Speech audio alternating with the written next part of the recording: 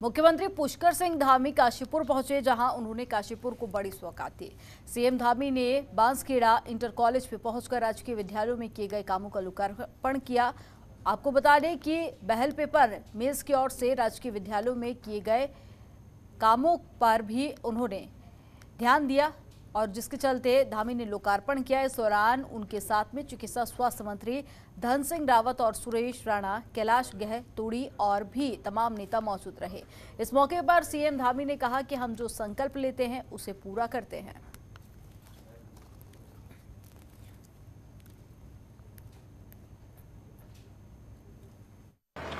मैं सबसे पहले तो आप सभी को बधाई देता हूँ। कि ये शानदार काम यहाँ पर हुआ है। और निश्चित रूप से इन विद्यालयों में जिस प्रकार से काम हुआ है, एक एक छोटी छोटी चीज़ों का ध्यान रखा गया है, किस प्रकार से यहाँ पर बेंच बनाई गई है, किस प्रकार से पेंटिंग की गई है, हर तरीके से पूरी दीवारों की साज सज्जा की गई है। आगे आने वाले समय के लिए भी ये एक मॉडल के रूप में यहाँ पर ये काम करेगा। और मैं और भी सभी लोगों से सरकार की भी अपनी एक सीमा होती है और सरकार भी आप ही की होती है। सरकार कोई अलग नहीं है। आप लोग जो काम करते हैं, वही सरकार आगे बढ़ाती है। और मैं आपको विश्वास दिलाता हूँ कि सरकार आपकी सरकार है। और कोई भी समाज में बड़ा काम होता है, कोई भी समाज में परिवर्तन होता है, कोई नया काम होता है, या समाज में कोई बड़ा सुधार होता है तो उस काम में समाज के लोगों की बहुत बड़ी भूमिका क्योंकि सरकार की अपनी लिमिट है। सरकार की अपनी सीमाएँ हैं। सरकार एक सीमा तक काम कर सकती है। लेकिन जब समाज के लोग आगे बढ़कर इसमें काम करते हैं तो निश्चित रूप से वो आने वाले समय के लिए उदाहरण बन जाता है। इस बार फिर से भाजपा की सरकार और मैं कहता हूँ आप लोगों से कि आप सबके आशीर्वाद से इस बार भाजपा सरकार बनी है। अब बार बार भाजपा की सरकार बनेगी, क्योंकि हम लोगों ने संकल्प लिया है कि हमारे देश के यशस्वी प्रधानमंत्री नरेंद्र मोदी जी के नेतृत्व में हम लोग प्राणों प्राण से काम करेंगे। और जो भी संकल्प हमने लिए हैं, उन सारे संकल्पों को पूरा करेंगे। चाहे वो शिक्षा के क्षेत्र में हो, चाहे चिकित्सा के क्षेत्र में हो, चाहे उद्यान के क्षेत्र में हो, चाहे उद्योग के क्षेत्र में हो, हर क्षेत्र में हम एक एक करके काम को आगे बढ़ा रहे हैं। हमने चुनाव से पहले एक संकल्प लिया था आप सबके सामने कि हम नई सरकार के शपथ ग्रहण होते ही उत्तराखंड के अंदर सभी लोगों के लिए, चाहे वो किसी धर्म का हो, किसी मज़हब का हो, किसी संप्रदाय का हो, सबके लिए हम एक समान कानून लाएँगे, समान नागरिक संहिता उत्तराखंड के अंदर हम लागू करेंगे। और उस काम की हमने शुरुआत कर दी है।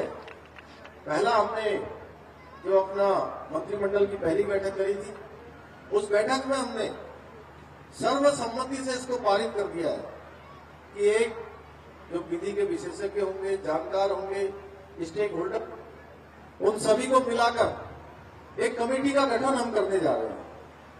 और वो कमेटी एक ड्राफ्ट तैयार करेगी। और ड्राफ्ट तैयार होगा, जो हमारे बहुत ही जानकार लोगों की देखरेख में एक ड्राफ्ट तैयार होगा।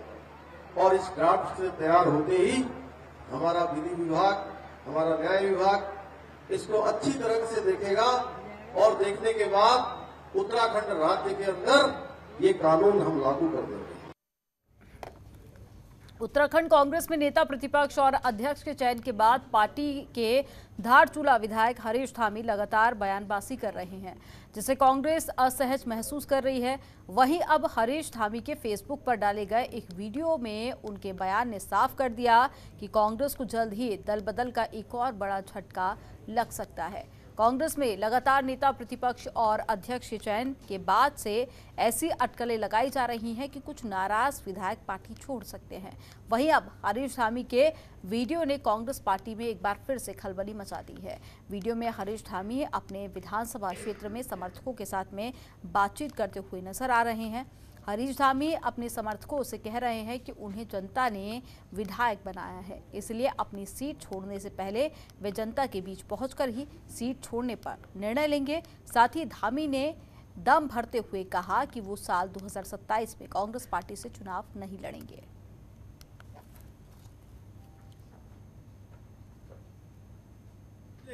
आप लोगों ने मुझे बनाया, मैं आपके बीच आऊँगा। आपसे पूछेगा कोई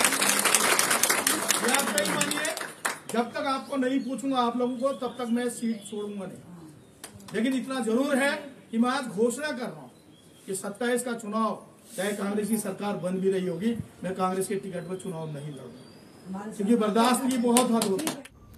प्रदेश में बीजेपी संगठन स्तर पर कई तरह के बदलाव करने की तैयारी में है। हाल ही में दिल्ली में बीजेपी हाईकमान के साथ हुई बैठक के बाद इस बात के संकेत सामने आ रहे हैं कि पार्टी के प्रदेश अध्यक्ष मदन कौशिक ने इस बात की तस्दीक की है कि कौशिक ने कहा कि हाईकमान के साथ हुई बैठक में पार्टी संगठन के अंदर कई बदलाव को लेकर मंथन हुआ। पार्टी के अंदर संगठनात्मक स्तर पर भी बदलाव हो सकते हैं।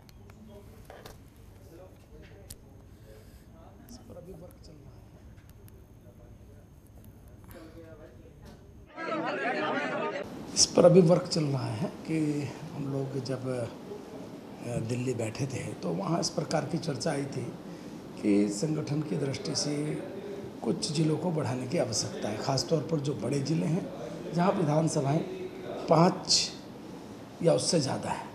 तो इस प्रकार का एक होमवर्क हम लोग कर रहे हैं। जल्दी इस पर कुछ नीतिगत निर्णय होगा, तब इसको आगे बढ़ाएँगे।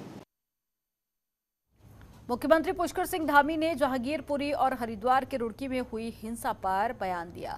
शोभा यात्रा पर पथराव की घटनाओं को निंदनीय बताया। उत्तराखंड के भगवानपुर में हुई हिंसा पर दोषियों के खिलाफ सख्त कार्रवाई करने के निर्देश भी जारी किए।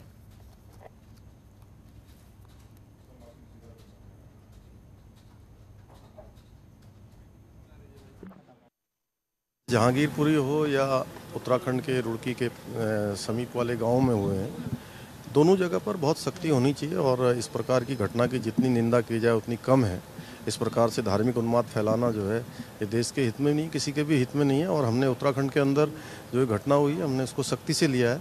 कानून व्यवस्था जो है वहाँ पर बनी रहे उसके लिए कानून अपना काम ठीक तरीके से वहाँ पर कर रहा है। हम निश्चित रूप से चूँकि वहाँ पर भी जो है इस प्रकार की घटना हुई उसी दिन हनुमान जयंती के दिन पथराव हुआ है वहाँ पर हमने सख्ती से जिन लोगों के जो भी आरोपी है उन पर सख्त कार्रवाई करने के लिए उत्तराखंड में आज से स्वास्थ्य मेलों की शुरुआत की गई। प्रदेश के सभी विकास खंडों में स्वास्थ्य मेलों का आयोजन किया गया। आपको बता दें कि आयुष्मान भारत योजना की चौथी वर्षगांठ पर ब्लॉक स्तरीय स्वास्थ्य मेलों का आयोजन किया गया। स्वास्थ्य मंत्री डॉक्टर धन सिंह ने रायपुर ब्लॉक पहुंचकर मेलों का आयोजन किया। मेले में तमाम तरह की जाँच और परामर्श की सुविधा उपलब्ध कराई गई। वहीं इस मौके पर सीएमओ डॉक्टर मनोज उप्रेती रायपुर अस्पताल के सीएमएस डॉक्टर पीएस रावत समेत अन्य अधिकारी भी मौजूद रहे। प्रदेश के अलग अलग जिलों में स्वास्थ्य परीक्षण के साथ राज्य और भारत सरकार की जन कल्याणकारी योजनाओं की जानकारी और अटल आयुष्मान कार्ड निर्गत किए गए और साथ ही लोगों को निःशुल्क स्वास्थ्य सुविधाओं का भी लाभ दिया जा रहा है। ये तीन तस्वीरें आपको दिखा रहे हैं। पहली तस्वीर अल्मोड़ा से है, दूसरी चमोली से है तो वहीं तीसरी तस्वीर पौड़ी से है। सभी विकास खंडों में स्वास्थ्य मेले का आयोजन किया गया और साथ ही लोगों को जागरूक भी किया गया और तमाम सुविधाएँ उपलब्ध भी कराई गई।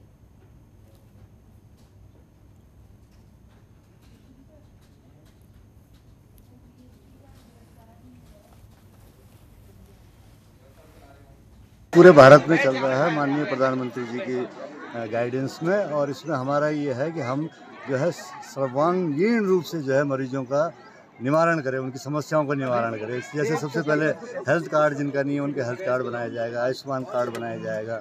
एक यूनिक आईडी जनरेट की जाएगी। और मेन बात है इसमें हमें बीमारियों से बचाने के उपाय पहले बताने प्रिवेंशन ऑफ़ डिज़ीज़ ताकि बीमारियाँ फैले ना, उनको पहले रोक दिया जाए, होने से prevention is better than cure कहा जाता है। तो उस सिद्धांत पे हम चलेंगे और इसमें सारी बीमारियाँ हम कवर कर रहे हैं, किस मरीज़ को क्या बीमारी है, उसका हम डेटा रिकॉर्ड रख रहे हैं, कहाँ रहता है, कहाँ क्या उसकी इकोनॉमिक स्टेटस है, कैसे हम उसको हेल्प कर सकते हैं और कैसे हम उसको जागरूक कर सकते हैं समाज के इसके स्वास्थ्य के बारे में। तो इसका हमारा प्रमुख कारण, प्रमुख हमारा उद्देश्य ये है। तारीख से 22 तारीख के बी- बीच में सभी जनपद स्तरीय सामुदायिक स्वास्थ्य केंद्र और जो ब्लॉक स्तरीय केंद्र होंगे, वहाँ पर स्वास्थ्य मेला का आयोजन किया जा रहा है। स्वास्थ्य मेले में सभी बीमारियों का इलाज का जाँच किया जाएगा। साथ में आँखों का जाँच हो सकती है, शुगर, बीपी की जाँच हो सकती है और साथ साथ में अन्य जो स्पेशलिस्ट होंगे, वो भी इस ब्लॉक स्तरीय स्वास्थ्य मेले में उपस्थित रहेंगे। और संबंधित जो हमारे क्षेत्र के विधायकगण हैं, मंत्रीगण हैं, इनकी उपस्थिति में इसका शुभारंभ भी किया जा रहा है। मैं उम्मीद करता हूँ कि समस्त आम नागरिक स्वास्थ्य मेले में आकर, अपनी स्वास्थ्य संबंधी समस्या का समाधान करने के लिए आगे आएँगे और हमारे चिकित्सक भी उनका सही तरीके से समाधान करते हुए उनको मदद करने का प्रयास करेंगे। यहाँ पर जो शिविर आयोजित किया गया है, इसमें मनसा साफ़ है कि सरकार की जो योजनाएँ हैं, स्वास्थ्य संबंधी योजनाएँ हैं आम आम जनमानस तक उसकी जानकारी हो, इसलिए इस तरह के शिविर आयोजित किए गए हैं। और ज़िले में शिवमुसा के माध्यम से तीनों ब्लॉकों में चारों सभी ब्लॉकों में जो है इस तरह के आयोजन जा रहे हैं आज मेरे विधानसभा में, हमारे सालदे ब्लॉक के में सल्ट मेले का सल्ट में स्वास्थ्य मेले का आयोजन किया गया, जिसमें सभी टेस्ट फ्री हैं और अच्छे, क्योंकि अल्मोड़ा और हल्द्वानी से भी जो है डॉक्टर्स को बुलाया गया ज्ञान ज्ञानोलॉजिस्ट इत्यादि सब आके यहाँ पर स्वास्थ्य का शिविर लगाया गया है। और सभी को इस सुविधा का लाभ मिले, इसके लिए हमारा पूरा प्रयास है और आज इसका शुभारंभ किया है और 21 तारीख को देवाल अस्पताल में भी ये मेला लग रहा है। देहरादून में राष्ट्रीय कृषि मुक्ति दिवस पर कार्यक्रम का आयोजन किया गया। आपको बता दें कि इस कार्यक्रम का शुभारंभ स्वास्थ्य मंत्री धन सिंह रावत ने किया। इस मौके पर विभागीय अधिकारी भी मौजूद रहे। इस मौके पर स्वास्थ्य मंत्री धन सिंह रावत ने बच्चों को दवा खिलाकर इस कार्यक्रम की विधिवत शुरुआत की। साथ ही मंत्री धन सिंह रावत ने कहा कि प्रदेश भर में तिरतालीस लाख पचपन हज़ार बच्चों को ये दवा दी जाएगी, जिसमें एक साल में 19 साल के हर बच्चे को दवा देने का लक्ष्य रखा गया।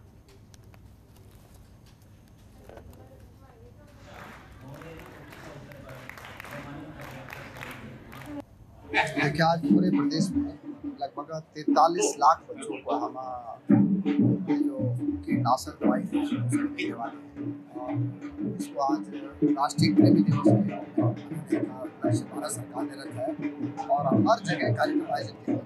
जो हमारा राष्ट्रीय कृमि मुक्त दिवस जो है, ये बारहवां कृमि मुक्त दिवस है और इसमें हम लोग जो है, एक से उन्नीस साल के बच्चों को जो है एल्बेंडाजोल जो एंटी डी बनी होती है उसको जो दवाई दी जाती है। और ये हम लोग का अ, साल में दो बार होता है। और इसमें हमारे कम से कम लगभग हमारे जो लगभग जो हैं forty three point five five lakhs बच्चों को जो है ये दवाई पिलाई जाएगी कहीं पे खिलाई जाएगी। और जो हमारे एक साल से लेके जो दो साल के बच्चों को है वो आधी गोली दी जाएगी और दो साल से लेके उन्नीस साल के बच्चों को एक गोली खिलाई जाएगी। प्रदेश में कांग्रेस विधायक दल के नेता के रूप में यशपाल आर्य ने आज अपना पदभार संभाला। आपको बता दें कि यशपाल आर्य ने विधानसभा में नेता प्रतिपक्ष के रूप में अपना कार्यभार ग्रहण किया। इस मौके पर पूर्व मुख्यमंत्री हरीश रावत, अध्यक्ष करण मेहरा और भुवन कापड़ी सहित कांग्रेसी कार्यकर्ता मौजूद रहे।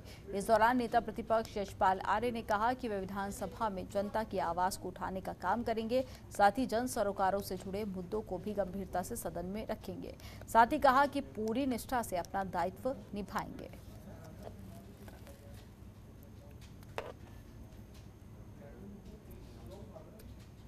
मैंने कहा ना, कल भी कहा वो कोई गुट नहीं, कोई खेमा नहीं। कांग्रेस एकजुट हो। और कांग्रेस में मैंने कहा ना एकता में ताकत है। यशपाल आर्य विमुख नहीं हो सकता। मैं अगर पार्टी हाईकमान ने यशपाल आर्य को ये दायित्व दिया है, ये ज़िम्मेदारी दी है तो मेरी ज़िम्मेदारी है कि मैं अपने परिवार को उत्तराखंड के पंचायती राज मंत्री सतपाल महाराज ने पंचायतों को सशक्त करने के लिए कई ऐतिहासिक निर्णय लिए।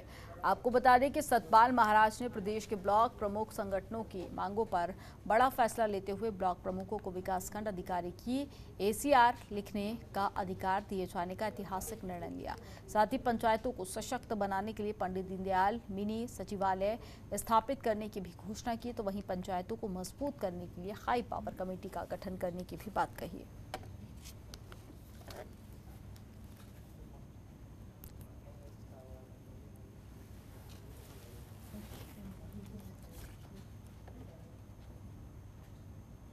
केदारनाथ धाम में इन दिनों मौसम ने अपना मिजाज बदल लिया है। और धाम के आसपास के कई इलाकों में एक हफ़्ते से रुक रुक कर बर्फबारी का दौर जारी है। वहीं इस बर्फबारी ने प्रशासन की टेंशन बढ़ा दी है। साथ में हो रही बर्फबारी के चलते यात्रा तैयारियों को पूरा करने में परेशानियाँ भी हो रही हैं।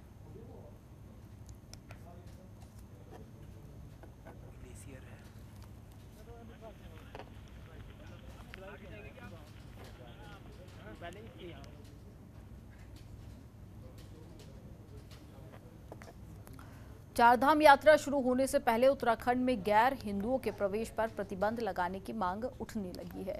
शंकराचार्य परिषद के अध्यक्ष और शांभवी धाम पीठाधीश्वर स्वामी आनंद स्वरूप ने उत्तराखंड सरकार से गैर हिंदुओं के प्रवेश पर प्रतिबंध लगाने की मांग की। आपको बता दें कि इसी कड़ी में उन्होंने मुख्यमंत्री पुष्कर सिंह धामी को पत्र भी लिखा।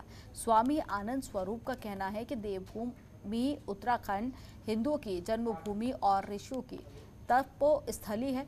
इसलिए उनकी मांग है कि सरकार चारधाम यात्रा के दौरान उत्तराखंड में गैर हिंदुओं के प्रवेश पर प्रतिबंध लगाए। वहीं उन्होंने चेतावनी दी है कि यदि उनकी मांग पूरी नहीं होती तो उनकी काली सेना से जुड़े कार्यकर्ता खुद चिन्हित कर काम करना शुरू करेंगे।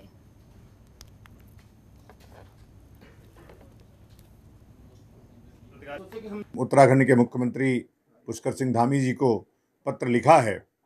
कि इस पे तत्काल लाइसेंस बने, प्रवेश पत्र बने और जिनके पास गैर हिंदुओं का प्रवेश हो, चाहे वो मुसलमान हो, यहूदी हो और जितने भी विदेशी धर्म वाले लोग हैं, उन सबको तत्काल प्रतिबंधित किया जाए।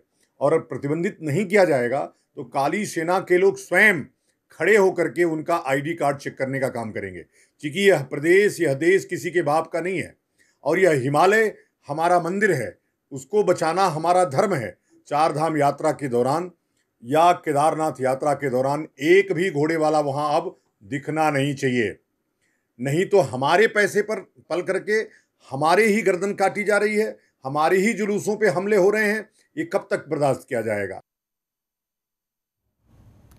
प्रदेश में तीन मई से चारधाम यात्रा की शुरुआत होने जा रही है। ऐसे में चारधाम यात्रा को लेकर सूबे के स्वास्थ्य विभाग ने भी अपनी कमर कस ली है। स्वास्थ्य सचिव डॉक्टर पंकज पांडे की माने तो इस बार यात्रा के लिए विभाग पूरी तरह से तैयार है, जिसमें किसी भी आपदा से निपटने के लिए विभाग अपने आप को तैयार कर चुका है।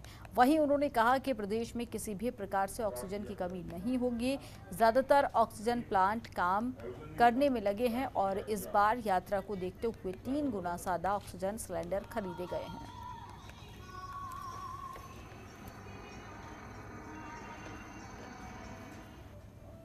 देखिए चार धाम के लिए हम लोग पहले से हमने अपनी कमर कस ली है। पूरी तरह से हम लोग तैयार हैं। जो पिछले सालों में दिक्कतें आई हैं, ऑक्सीजन की जो प्रॉब्लम्स आती थी, उसके लिए हम लोग ने एक्स्ट्रा तैयारी कर ली है। कोविड को देखते हुए हम लोगों ने काफ़ी सारे ऑक्सीजन के प्लांट्स लगाए हैं, काफ़ी सारे सिलेंडर हमने, तीन गुना खरीद लिए अपने सिलेंडर्स तो वो हर जगह लगा रहे हैं। इसके अलावा एक चीज़ आती है कि जो हाई ऑल्टीट्यूड सिकनेस होती है लोगों को, जो प्लेन से आते हैं, सडनली पहाड़ में चढ़ जाते हैं तो दिक्कत होती है, उसके लिए हम लोग अपने फिजिशियन को पंद्रह पंद्रह दिन की ट्रेनिंग करवा रहे हैं, एम्स ऋषिकेश के माध्यम से कि हमारे फिजिशियंस को उस तरह के केसेस हैंडल करने के लिए तैयार हो जाएँगे, पूरी तरह से फिट हो जाएँगे। तो वो लोग हाई ऑल्टीट्यूड सिकनेस को मैनेज करेंगे। इसके अलावा कार्डियोलॉजी का इशू आता है कि हार्ट में काफ़ी लोगों को प्रॉब्लम होती है। तो कार्डियोलॉजी की भी ट्रेनिंग हम लोग अपने कुछ फिजिशियंस को करा रहे हैं प्राइवेट संस्थाओं के माध्यम से और एम्स के माध्यम से। तो कार्डियोलॉजी और हाई ऑल्टीट्यूड सिकनेस दोनों से निपटने के लिए हम लोग बेटर प्रिपेयर्ड होंगे इस साल। तो मुझे लगता है कि चार धाम यात्रा में हम बेहतर सुविधाएँ पब्लिक को दे पाएँगे। नैनीताल हाई कोर्ट ने नगर पालिका नैनीताल नगर क्षेत्र के सभी पार्किंगों का ठेका बिना टेंडर निकाले पुराने ठेकेदारों को दिए जाने के खिलाफ दायर याचिका पर सुनवाई की। आपको बता दें कि कोर्ट में नगर पालिका 20 प्रतिशत बढ़ाकर इन्हीं ठेकेदारों को ठेका दिए जाने का कोई नियमावली पेश नहीं कर पाई, जिसके बाद कोर्ट ने दोबारा इन्हीं ठेकेदारों को दी गई पार्किंग के ठेकों पर रोक लगा दी। आपको बता दें कि पहले हुई सुनवाई के दौरान कोर्ट ने बिना टेंडर निकाले इन्हीं ठेकेदारों के दिए गए ठेकों को, नियमावली पेश करने को कहा था, लेकिन नगर पालिका उसे पेश नहीं कर पाई।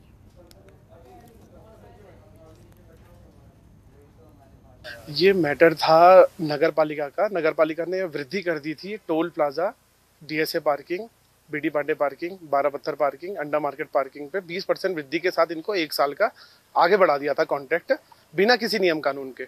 कोर्ट ने इनसे आज बोला था कि आज हमें नियम कानून दिखाए जिसके अंतर्गत उन्होंने ये एक साल की वृद्धि में इनको दिया था। और आज कोर्ट में वो नहीं दिखा पाए नगर कोई नियम कानून नहीं दिखा पाई, जिसके जिसके विरुद्ध उन्होंने आज स्टे कर दिया इस मामले में। और इसके, इसमें इसमें से डीएसए पार्किंग को हटा दिया गया क्योंकि वे वे कॉमर्शियल कोर्ट में जाके अपना पक्ष रखा था कि 20 परसेंट वृद्धि नियम के अनुसार नहीं है और और ये नहीं बढ़ाया जाए। तो उनका एक ऑर्डर आया, उन्होंने रिट डाली है एओ डाली है यहाँ कोर्ट में, जो बाद में सुनी जाएगी और जिसके अंतर्गत ऑर्डर किया जाएगा। अभी हाल फ़िलहाल इसमें स्टे हो चुका है। हरिद्वार के नगर निगम ऑफ़िस में चोरी की घटना सामने आई है। चोरी की घटना से निगम प्रशासन में हड़कंप मच गया। शनिवार देर रात चोरों ने नगर आयुक्त सहायक नगर आयुक्त और अकाउंट डिपार्टमेंट के ताले तोड़कर अलमारी में रखी कई फाइलें खंगाल डाली। चोरी की घटना की जानकारी निगम के अधिकारियों को मिली तो अधिकारी मौके पर पहुँचे और पुलिस को सूचना दी गई। चोरी की घटना को अंजाम देने वाले चोर सीसीटीवी कैमरे के डीवीआर में भी आ, सीसीटीवी कैमरे में कैद हुए तो वहीं डीवीआर भी ले उड़े। मौके पर पहुँची पुलिस ने पूरे मामले की जाँच शुरू कर दी है। हम लोगों को अभी सुबह प्रातः नौ बजे संज्ञान में आठ बजे के बाद आया है। मुझे नौ बजे के बाद आया है तो जैसे सूचना मिली, हम लोग जो है ऑफ़िस में आए। तो पाँच ताले टूटे हुए हैं ऑफ़िस के, और इसकी जाँच चल रही है। पुलिस वाले आ गए हैं लोग। इसके कैमरे से अपना देख रहे हैं लोग अभी तो संज्ञान में नहीं आया कि क्या ले गए, उसे कोई पत्रौली के मकसद से आया था। मैंने तुरंत चौक इंचार्ज को वहाँ पे भेजा। तो चौकी इंचार्ज ने अपने जो फ़िज़िकल इंस्पेक्शन वहाँ पे है, उस पर देखा कि वहाँ दो तीन ताले टूटे हैं। और सीसीटीवी में ये बात कवर भी हो रही कि कोई व्यक्ति वहाँ कुछ ढूँढने की फिराक से गया था। अभी तक की सूचना के अनुसार, तथ्यों के अनुसार कुछ विशेष चीज़ चोरी नहीं हुआ। तो ऐसा लगता है कि किसी फ़ाइल या किसी पर्टिकुलर किसी एक विशेष चीज़ को ढूँढने के लिए वो व्यक्ति वहाँ गया था। बाकी सीसीटीवी की तरफ़ सीसीटीवी में और सर्च कर रहे हैं, जो वहाँ के कर्मचारी उनसे पूछताछ की जाएगी। और जैसा मुझे एम साहब ने बताया कि वो एक चौकीदार भी रात को रखते हैं तो इन सबसे पूछताछ के बाद चीज़ें क्लियर हो पाएँगी। हरिद्वार में विजिलेंस की टीम ने ऊर्जा निगम के एसडीओ को रिश्वत लेते हुए पकड़ा। आपको बता दें कि विजिलेंस की टीम ने एसडीओ को बीस हज़ार की रिश्वत लेते हुए रंगे हाथों गिरफ़्तार किया। टीम को शिकायत मिली थी कि एसडीओ ने जगजीतपुर क्षेत्र में बिजली का नया कनेक्शन देने के लिए एक व्यक्ति से बीस हज़ार रुपए की मांग की है। वहीं पैसे नहीं देने पर एसडीओ लंबे समय से आवेदनकर्ता को चक्कर काट रहा है, जिसके बाद से पीड़ित ने विजिलेंस टीम को शिकायतकर्ता पहुंचकर शिकायत दर्ज कराई जिसके बाद टीम ने आरोपी एसडीओ को पकड़ने के लिए जाल बिछाया और सब स्टेशन पहुंचकर कार्रवाई करते हुए एसडीओ संदीप शर्मा को रंगे हाथों गिरफ़्तार किया गया।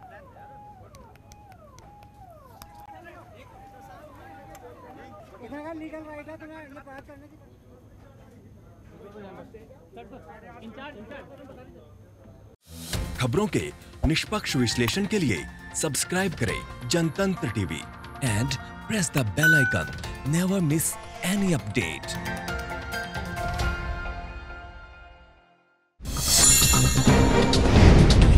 Download कीजिए जनतंत्र टीवी ऐप को, जो कि अवेलेबल है गूगल प्ले और ऐप स्टोर पर अधिक जानकारी के लिए अभी डाउनलोड करें